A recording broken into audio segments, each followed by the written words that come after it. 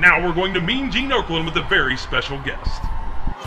Well, you know me, Gene. I want to tell you one thing. Here at Thrush and Son, what we're doing is we are throwing our opponents off the roof. And that What? is the. Oh, wait a minute. yes. Now that's absurd. That could end up in a lawsuit. Well, it's how it is. We're out here to win. We're out here to defeat the competition. We're throwing them off the roof, you know. Hold on. Call Art Goldfarb right now.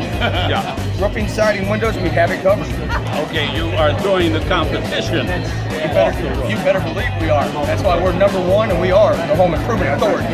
You know those those tile roofs are really something. You gotta give them a lot of TLC and They redo them. It's an arm and a leg. It really is, and you know, we will break the arms, we will break the legs, and that's why we're here. We'll be there for you, Mean Gene. Yes, sir. Corey, I, I appreciate it.